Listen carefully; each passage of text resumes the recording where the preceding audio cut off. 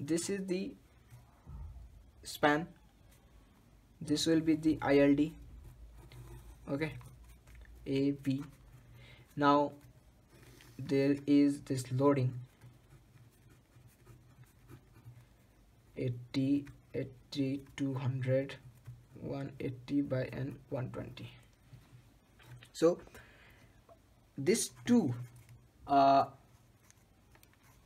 parameters has to be analyzed for absolute bending moment. So absolute bending moment occurs when? Let me take into account of this load.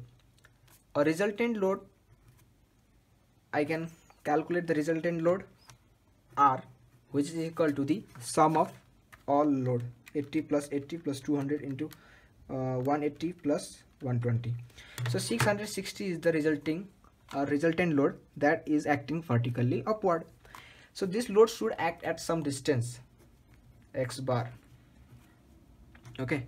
So at x bar distance this will be acting. How to calculate x bar then? So take moment about this point. Taking moment about this point we know this distance. 2 meter 3 meter 3 me 2 meter and this 3 meter. So x bar. Okay. We have to find this so taking moment about this point m80 is equal to 0 taking anti-clockwise as positive. So this 80 multiplied by 2 clockwise positive so 200 multiplied by 5 plus 180 multiplied by 2357 plus 120 multiplied by 10 minus resultant force acting r into x bar is equal to 0 so x bar can be calculated 80 into 2 plus 200 into 5 plus 180 into 7 plus 120 into 10 okay this is the value of this. Now dividing by this value which is 660 divided by 660 5.48 meter.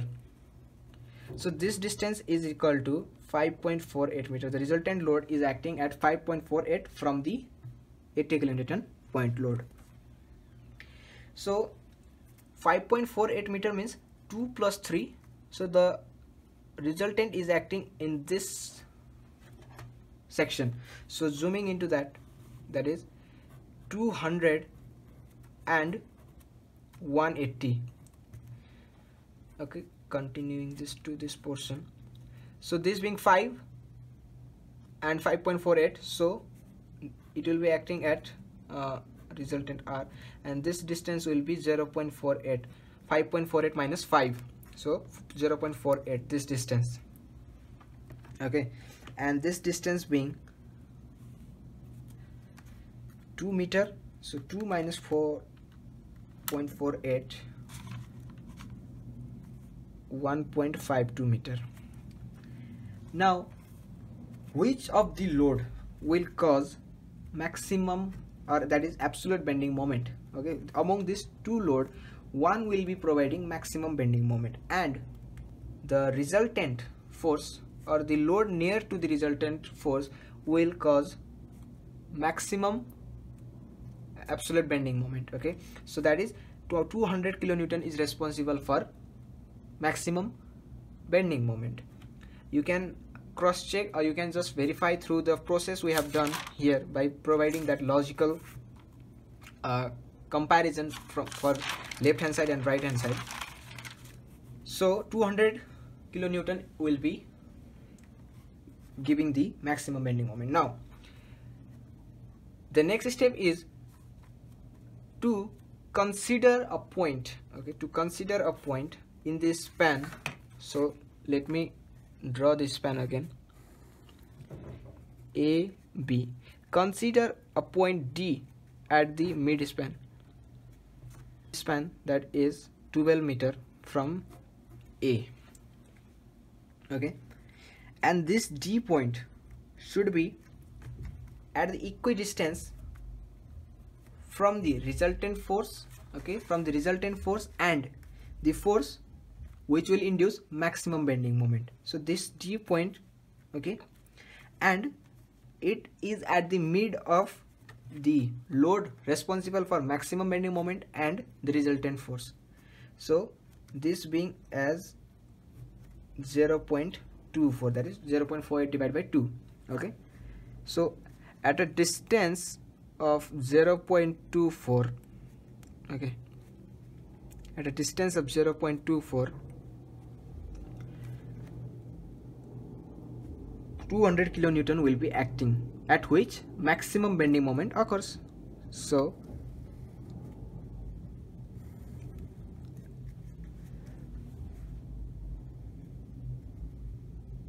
okay. So at this point 200 kilonewton load will be acting.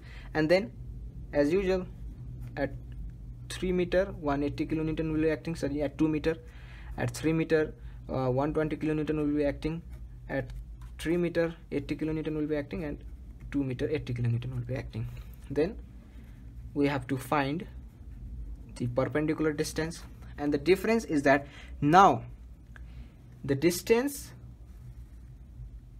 from left support to the maximum point is not 12 it is 12 minus 0.24 because up to D it is 12 and up to maximum bending moment maximum magnitude of ILD it is 12 minus 0.24 that is 11.76 meter. And the remaining part will be 24 minus 11.76 that is 12.24 meter. Okay.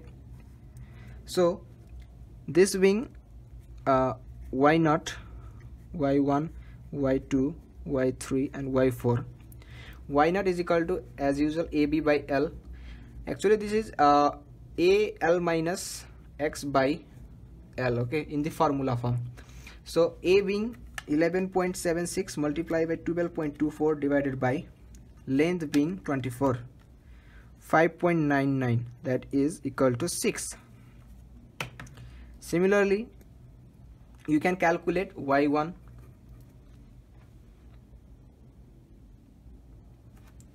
which is equal to 6 divided by 11.76 because the span is now 11.76 multiply by y1 uh, sorry mul uh, multiply by the span of this triangle which is equal to 11.76 minus this portion which is equal to 3 meter. So 11.76 minus 3 8.76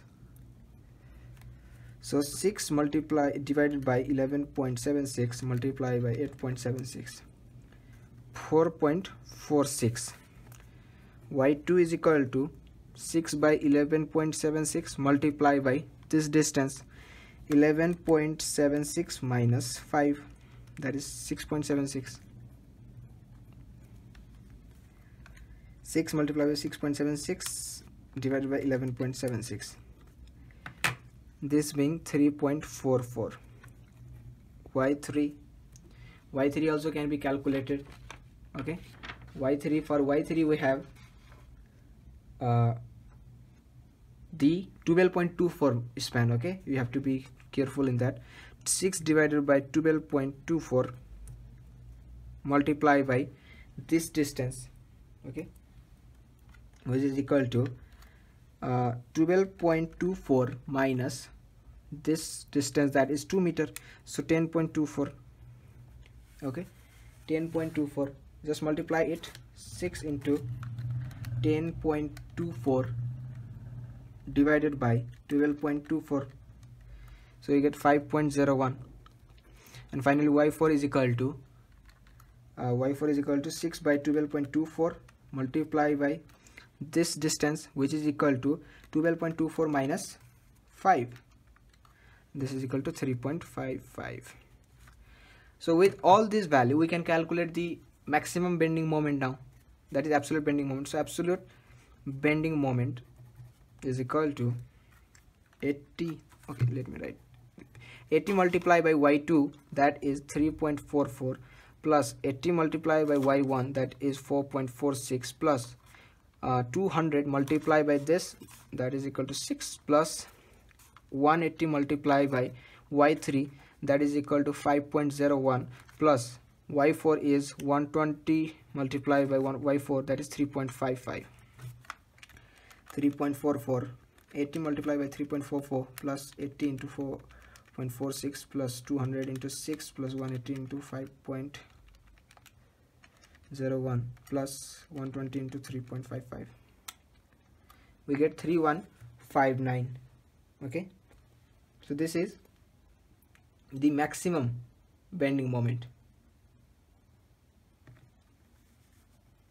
3159.8 kilonewton meter which is the required maximum bending moment. So in this way you can calculate the absolute bending moment in the beam okay?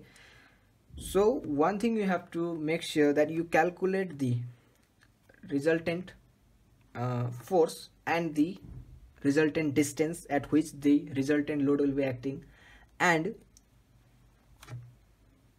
uh, the point D that is will be acting at the mid span of the beam uh, and the point D will be at equidistance from the load that will induce maximum moment and the resultant load. Okay so this is the way how we can calculate maximum bending moment absolute bending moment shear force that is positive shear force negative shear force okay for a simply supported beam please do subscribe and if you have any confusion do comment. And uh, if i have made any mistake please let me know in the comment section